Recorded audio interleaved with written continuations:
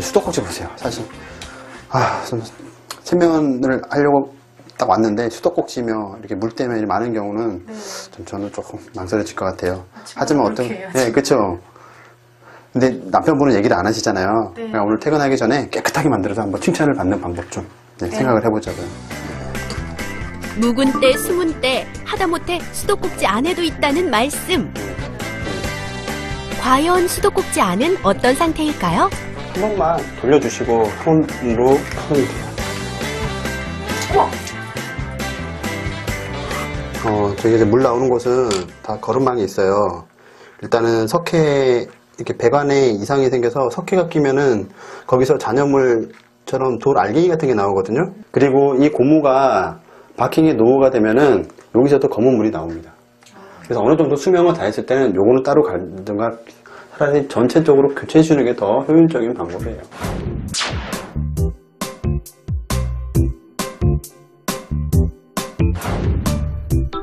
양치할 물, 세수할 물. 알고 보면 수도꼭지의 세균과 물때와 함께 사용한 셈인데요. 수도꼭지의 때 청소도 올 봄엔 필수. 보이는 데가 중요한 게 아니야. 저 헤드는 베이킹 소다에다 구연산수 넣고 넣고 탁 담그면 네, 담가 놓으면 물려주면. 짱이에요. 적어도 6개월에 한 번은 수도꼭지 상태 꼭 확인해 주세요. 숨은 때는 다 찾았고 이제는 대놓고 보이는 때 그러면서도 잘 안 닦이는 때 닦아놓으면 또 생기는 때 거울 물때 제거 차례 거울 물때 제거의 필수품은 바로 치약 떼수건에 치약을 묻힌 후 넓게 넓게 문질러주는 것이 요령 치약이 참 괜찮아요. 그래서 좋은 치약 좋죠. 네. 청소 도구인 것 네. 같아요. 연마제가 들어가 있어가지고요. 그리고 또 표백 작용도 하니까 그죠. 아이들 크레파스 닦는 어, 크레파스 묻은 벽지라든지 가우라든지 이런 거 다 할 때도 치약으로 다 잘 되고 이렇게 물때 잡기에도 좋고 또 향도 좋고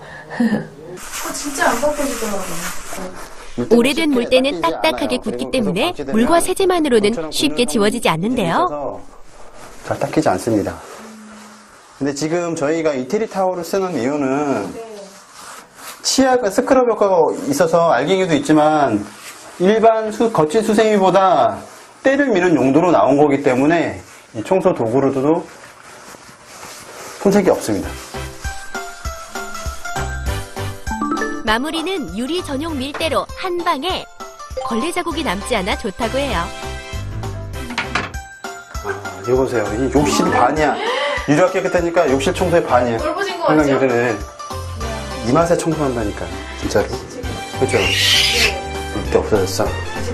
응. 어때요? 차이가 느껴지시나요? 세균과 곰팡이, 먼지와 물때로 가득했던 욕실이 환골 탈태. 이제 보이지 않는 부분까지도 꼭 신경 써서 청소해주세요. 마지막으로 이동한 곳은 바로 복도. 집안 청소를 마친 후 조남승 고수가 직접 제안한 마지막 청소 장소는 바로 아이방에 있는 방충망. 내가 이걸 할 수 있어. 어떻게 또 뜯어야 되는지 방법도 모르고 하니까 아예. 남편분 건드리지 시키세요. 자, 잡고 들고 빼주시면 끝납니다. 잡고 들고 빼고. 빼고 잡고 들고 빼고 얘는 뺍니다. 예, 쉽죠? 네. 어. 빼고 오 잘합니다. 네, 이겁니다 이거 이제 이제 편하게 청소하실 수 있겠죠? 별- 별거 아니네 진짜. 무조건 남자가 해야 된다고 생각했어요. 방충망이 아니라 먼지 저장소라고 해도 과언이 아니네요. 웬일이야. 아, 정말 미안하네요. 몰라서. 환기한다고 문을 열어놨었거든요. 근데 오히려 그게 독이 더 된 것 같아요.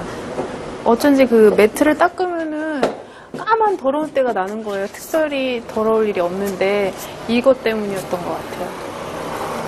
그런 것도 중요한데 털다가 이제 호흡기로 다 들어갈 수 있어요. 그럼 청소가 아니에요. 미리 예, 그래서 일단 다른 곳에 오염물이 번지는 것을 막기 위해 신문지는 필수. 이렇게 요거 요거 요거 방충망 청소는 물걸레로 닦는 경우가 많은데요.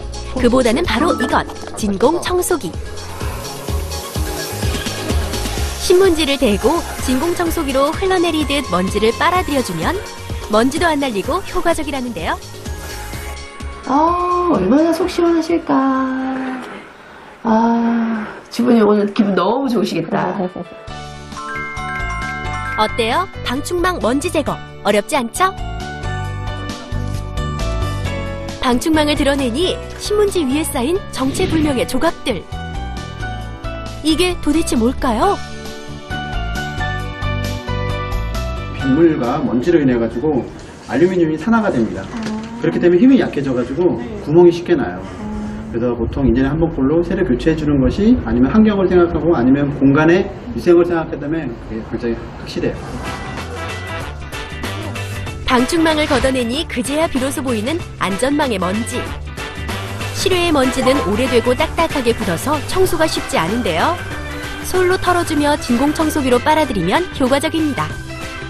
걸레로 닦아야 속이 시원한 분들, 적어도 이 정도로 먼지를 제거해 주어야만 물걸레 청소도 시작할 수 있답니다. 환기도 잘 되고 곰팡이 걱정도 없어진 욕실.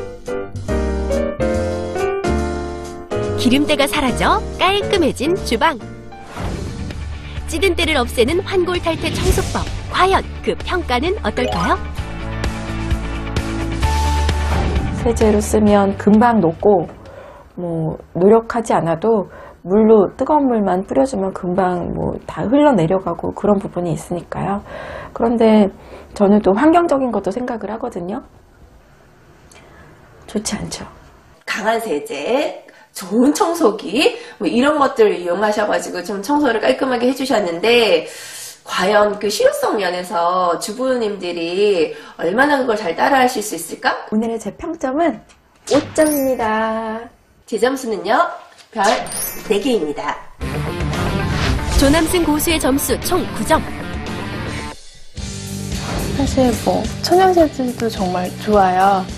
근데 저는 눈으로 효과가 확연하게 보이는 게 좋거든요. 그래서, 그래서 일단 선생님 스타일이 제가 정말 좋아하고 저한테 맞는 스타일이었던 것 같아요.